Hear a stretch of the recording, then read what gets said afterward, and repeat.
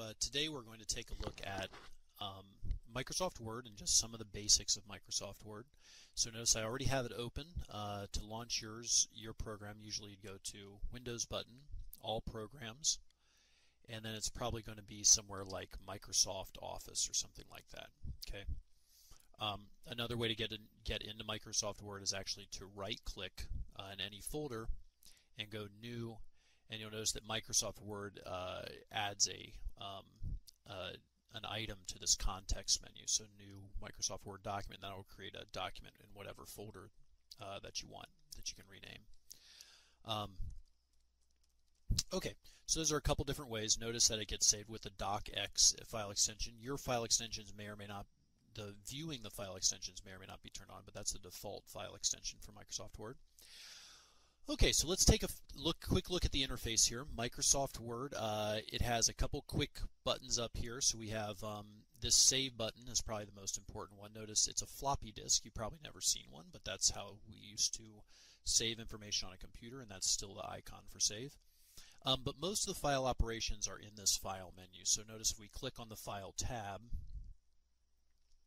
Notice that we get a lot of, uh, of options here. Okay, so this is where I'd save, save as. We can save it as Adobe PDF. We can open a different Microsoft uh, document, Microsoft uh, Word document. Um, um, also on this file menu, uh, we have print. So this is where you would go to print. So on file, our main options are going to be here are save or save as and print. Okay, so of course save as, uh, that's just saving a document. Whenever you open up a new document, the first thing that you want to do is save it. Uh, so let's go ahead and click Save. The first time when we save, we have to select a place to save it into. Uh, so I'm going to go find my school folder on my desktop, and I'm going to save it as uh, English Assignment 2.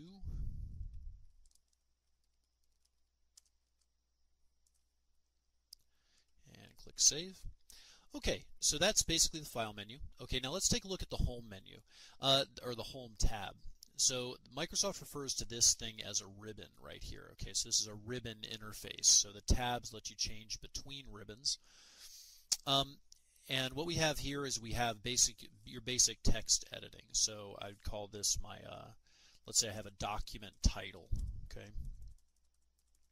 or let's say I have my title here, and I'd like my title to be bold, so I click B. Notice that when I have text that's bolded, um, let's say I have a subtitle.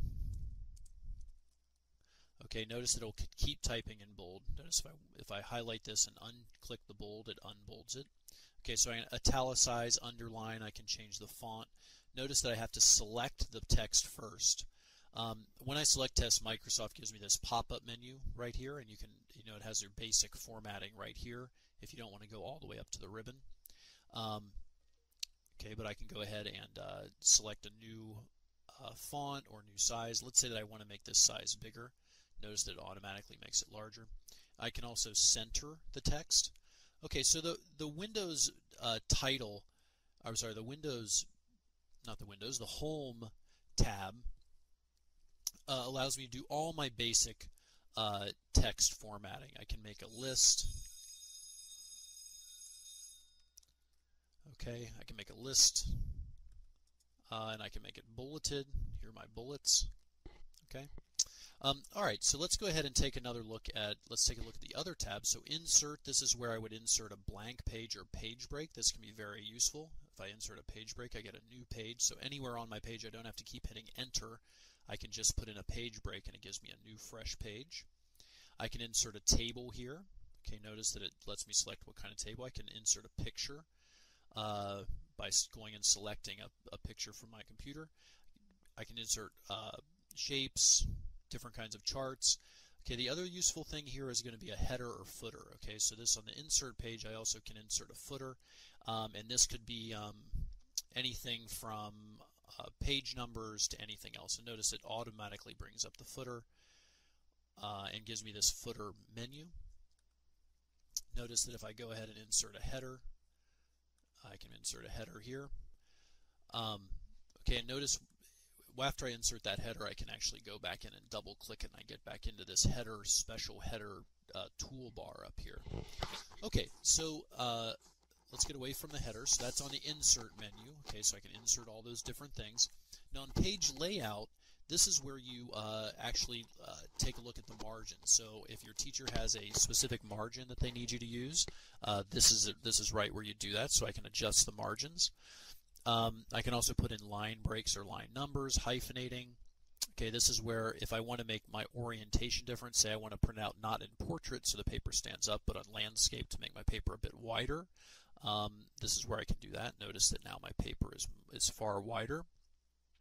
I'm going to change this back to portrait. Um, so those are your, your main things. Also, this is where you have spacing. So if I have uh, a couple lines of text, okay, notice this is where I would uh, change my spacing.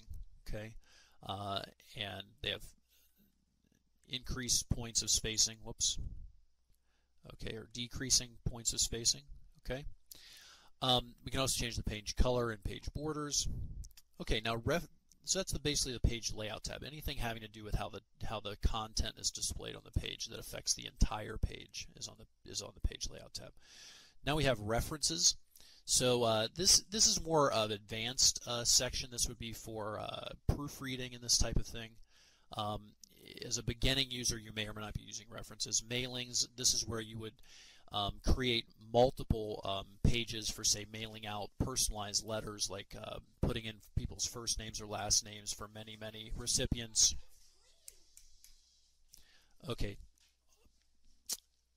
I'm sorry, references, I made a mistake. References are, were not where you review things. Uh, references uh, are where we'd insert footnotes, so this would be for, for academic papers. The review tab is where you would do proofreading. Um, and you may not be using either one of those, the references, mailings, or review when you first start using Microsoft Word.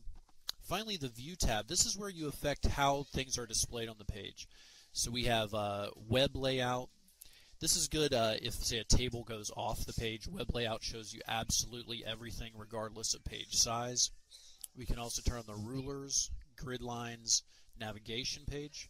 Okay, rulers is probably the one thing that you'll definitely want to turn on because this can uh, affect your tabs. Okay, so if we actually put in a tab stop, what that does for us, if we uh, if we click onto this line, notice our tab stop. If I click tab one time, notice that my cursor goes over to this tab stop. That's something that you can uh, use. We can also do things like arrange our windows that are open. Okay, finally we have add-ins and Acrobat. Okay, so that's a review of the main features of Word. Uh, you should experiment with them yourselves or use them as needed.